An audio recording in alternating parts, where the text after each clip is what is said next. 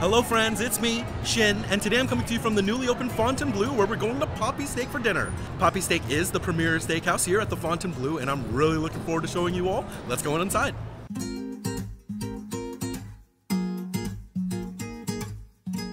All right, everybody, here we are seated at Papi Steak at the Fontainebleau. Beautiful restaurant. You have a classic Hollywood era decor here, super chic and modern, really classy. Absolutely stunning environment in here. We have dim lighting and really lively music. It's quite a vibe. Now, Papi Steak has its origins in Miami, and I'm guessing by the name it's where sugar daddies come to impress everybody. Let's go and take a look at what they're offering, starting with the drink menu. So here's the drink menu at Papi Steak. It's very long, so I think I'm just gonna go ahead and take brief images of each page. Feel free to take a pause in the video if you would like to look for your favorite drink. So here are your champagnes.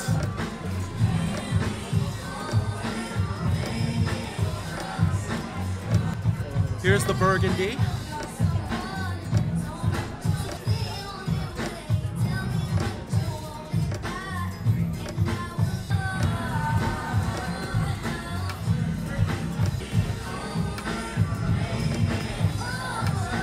Here are the Bordeaux's.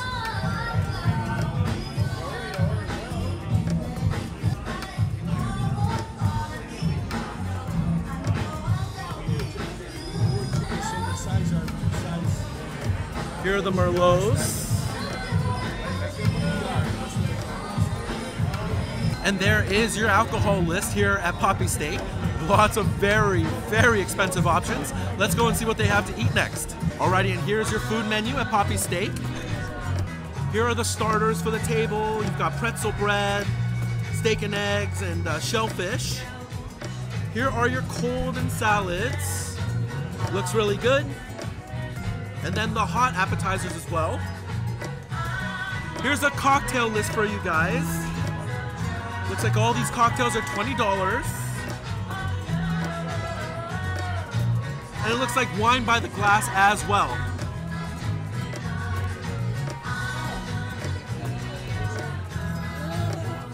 Here are your entrees, as well as your steak options. And then here are the premium steak options. That beef case is kind of the signature item here. And then all of your accompaniments and sides. I would say that's a pretty standard looking steakhouse menu. However, there are definitely a few intriguing options today. And you know how it goes in my videos. Every restaurant is a buffet if you're willing to pay. So we're gonna get a nice variety and together we're gonna see what this restaurant's all about. Don't go anywhere, appetizers are coming up first.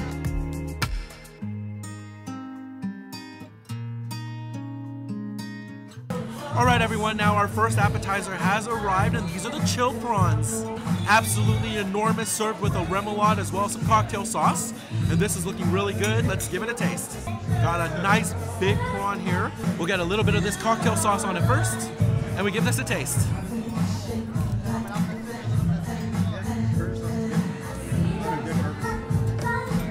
Oh yeah, that's actually really good. Super succulent prawns here. A little bit of that briny flavor really coming through. And in general, very satisfying to eat. The cocktail sauce has a nice sweetness to it as well as a bit of kick. A nice use of the horseradish there. I actually really like those chilled prawns. And next up, let's add this remoulade sauce. And we give this a shot as well.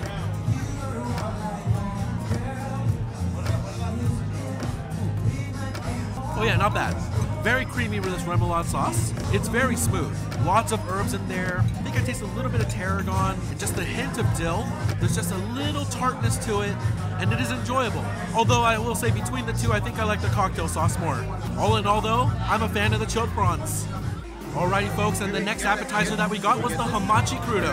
A beautiful yellowtail dish here, and they pour the ponzu at your table. And this is looking really good. Let's give it a taste.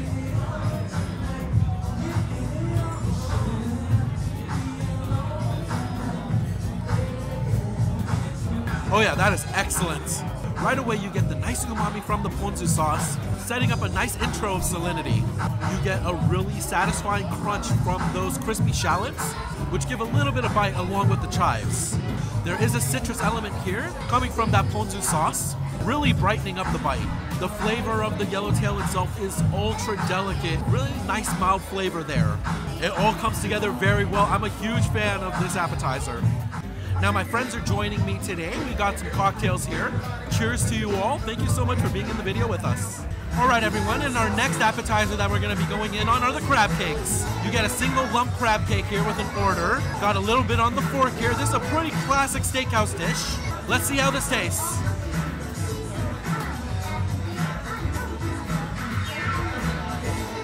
Oh yeah, that is really tasty. Beautiful crispy exterior. They've got a really great pan fry job. Not a lot of filler here. Tons of crab meat, and you really get that beautiful sweetness. It's seasoned simply but generously. You really get to taste that crab meat, and it's very flavorful. Now it is served alongside a Dijon mustard Beurre Blanc, which provides just a little bit of bite while offering a little bit of a creaminess. It is good. This is a solid crab cake. All right, folks, next up we're gonna try the Wagyu pastrami. This is served alongside a mustard sauce, and it looks incredible. I cannot wait to give it a try. Let's go in.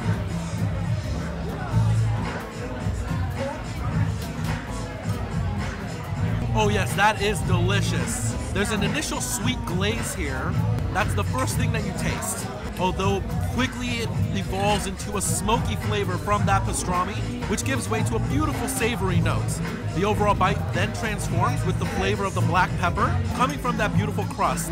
Now I'm told the pastrami is made over a course of 12 days between the brining, drying, and processing, and it really does show a perfect salinity here. It's savory, peppery, a little bit sweet, and the meat is so incredibly tender. I like it a lot. This is really unique and good pastrami.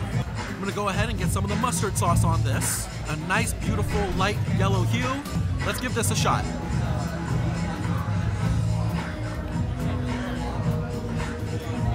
Oh yeah. Oh my goodness, that is really good. Introducing that mustard up front provides that little bit of spice that you're looking for that really amplifies the other flavors.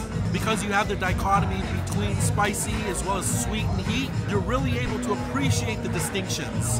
The savoriness of the pastrami really becomes much more enhanced when adding that mustard sauce. I absolutely love it. This is a great appetizer. All right, my friends, and those are the appetizers that we ordered today. I'm actually in love with this Wagyu pastrami. It's really good. My friends and I are going to continue working on this, and then we got entrees coming up next. Don't go anywhere, I'll be right back.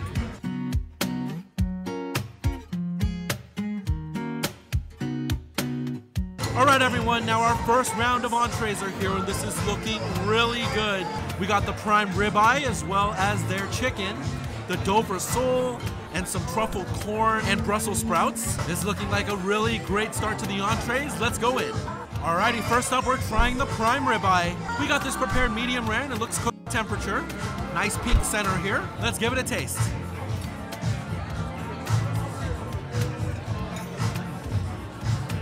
Oh yeah, that's a good steak. A solid fatty cut here. It's very rich. They've developed a nice crust on the outside, providing a little bit of texture, a slight char flavor here. It's really delicious. They absolutely nailed the cook, solid medium rare here, and a very simple seasoning that really allows you to appreciate the flavor of the beef. I have no complaints. This is a good ribeye steak here. Alrighty, next up is the truffle Chidori chicken. The skin was so crispy as I cut into this, and it looks really moist. Let's give it a shot.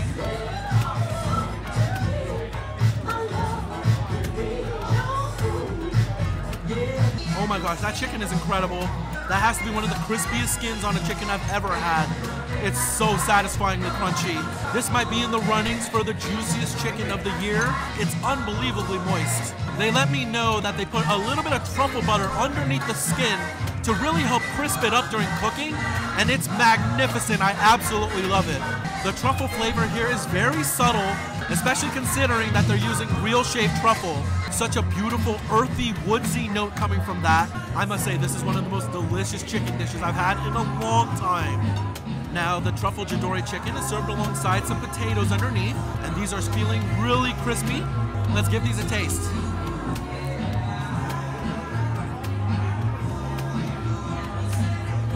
Oh, it's wonderful. Really crispy potatoes on the outside with nice soft flesh in the middle. They've been beautifully seasoned. While you get the great potato flavor, you also get that nice truffle herbiness. Starchy and satisfying and really helps the overall dish with that chicken. I'm a big fan. I love this chicken dish. All right, next up is the Dover sole, served in a brown butter sauce along with some capers. This is looking good. Let's give it a taste.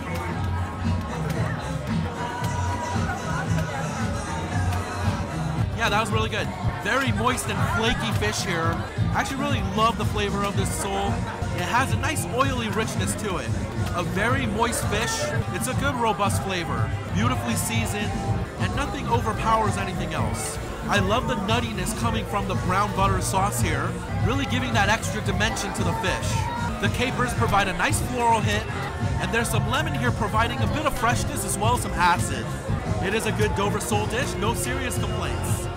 Right, we're going in on some sides next. First up is the truffle corn. Nice looking cream corn here. I'm definitely looking forward to this. Let's give it a shot.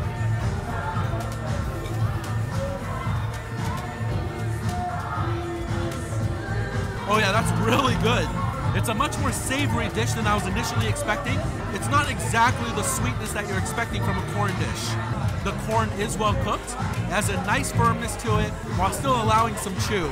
The cream sauce applied here has a nice salty pepperiness to it, and I absolutely love the truffle element. It's so subtle that its flavors come in waves in the bite, but the whole bite does end sweet as the natural corn flavor starts to take over. I'm a fan, I really like this corn dish. All right, folks, and the last bite to try from this first round of entrees is gonna be the Brussels sprout side. These actually smell incredible. Let's give it a shot.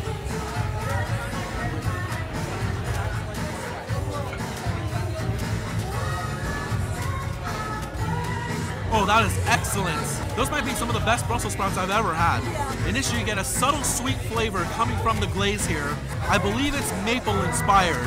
It then gives way to a nice spiciness coming from the sliced peppers here, right before you get a nice salty hit from the bacon. You get a nice treat of sweet, heat, and salty before it ends bitter from the natural flavors of the Brussels sprouts. It really is a nicely balanced, beautiful melody of flavors. I actually really like these a lot. These are solid Brussels sprouts. All right, everyone, and that's our first round of entrees. We're gonna go ahead and continue working on this, and then we got a huge surprise coming for you up next. Don't go anywhere, I'll be right back.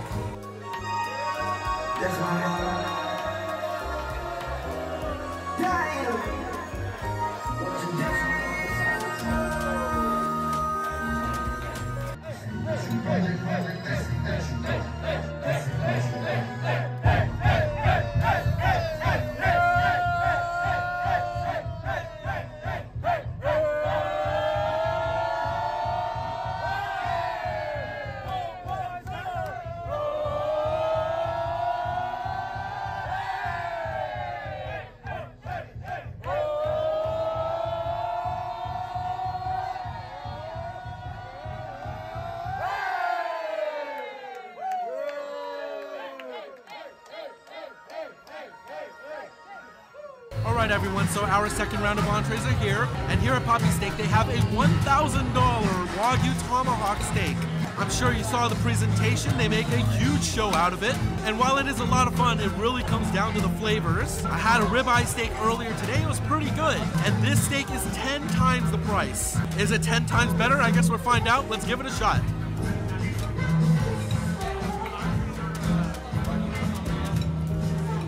Okay, wow, that is really good. Rich doesn't even begin to describe this steak. It's so fatty, it's off the charts. Incredibly tender, it just melts in your mouth. It's incredibly flavorful, so incredibly rich. A very delicious steak for sure. A beautiful crust on the outside. I don't really have too many negative points about this steak. Now the steak is served alongside four sauces, although it really doesn't need it at all. Looks like there's something a little creamy, something a little tangy, very akin to an A1 sauce. There's a bit of a spicy sauce here, as well as a slightly sweet and spicy. But truth be told, really, the steak does not need sauces. It's just really good on its own. Now, is it worth 10 times the price of their normal ribeye? No. No, it's not. However, if you're a sugar daddy looking to flex on the rest of the restaurant, it's a really fun show and it is a good steak. All right, everyone, now the steaks are really good. Let's go in on the final sides next. First up, let's try the mashed potatoes. Very creamy here. Looks super smooth on my fork. Let's give this a taste.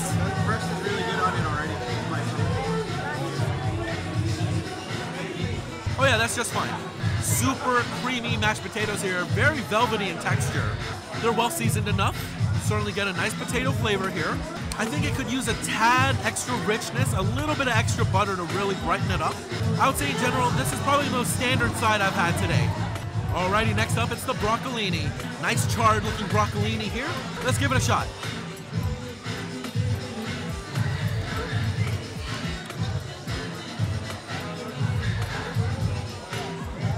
You know, I'd say those are just okay.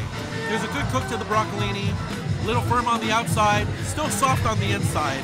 There's a decent char flavor here, a little bit of smokiness. There's also some lemon here giving some nice brightness and acidity. However, I would say the flavors are overall a little bit muted. While you taste the flavors I described, they're not very robust. I wouldn't say it's terrible, but it's my least favorite side of the day. All right, everybody, now the last bite I'm going to be trying from the meal today is going to be the cream spinach. It's a pretty good looking cream spinach here. Let's give it a taste.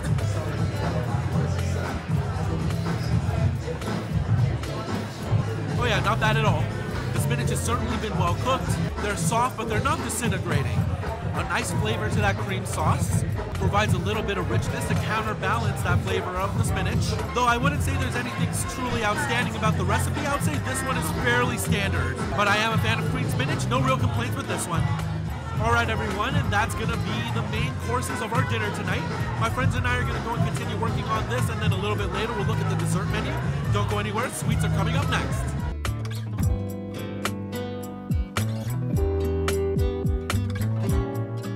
Right, everyone, and I'm back, and we have a dessert menu here. Let me give you a view. So here is your dessert menu at Papi Steak. Dark chocolate souffle sounds really good. It looks like they have a thousand dollar baked Alaska here. I kind of feel like a thousand dollar steak is enough. I don't know if I'm in the mood for a thousand dollar dessert today, so I'm gonna go ahead and get our order in. But for you at home, I'm gonna make it appear right now. All right, everyone, and our dessert is here. This is looking really good. Let me give you a view. We got the chocolate souffle, and it was served along with the vanilla anglaise. Let's give it a taste.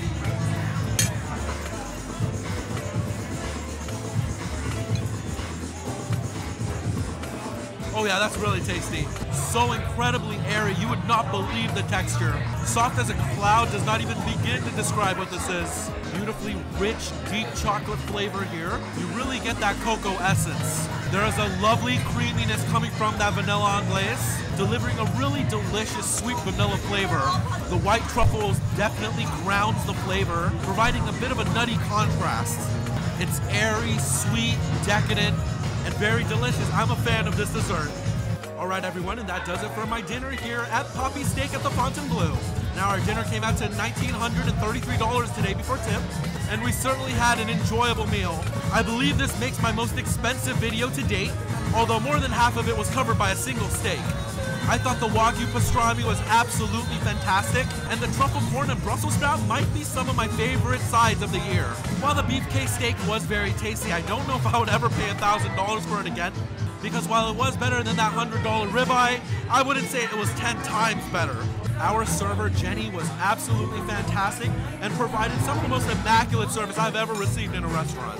Now, if you're looking for a really great upscale and super fun vibe steakhouse here in Las Vegas, Papi Steak is a solid choice. Really fun vibes here at this restaurant. It really felt like I was at a club when they brought out that beef case. I don't remember the last time I've been that hype at a restaurant. It was really cool. Now, I hope you enjoyed the video. Thank you so much for watching. Have a great week, and I'll see you next Saturday. Bye.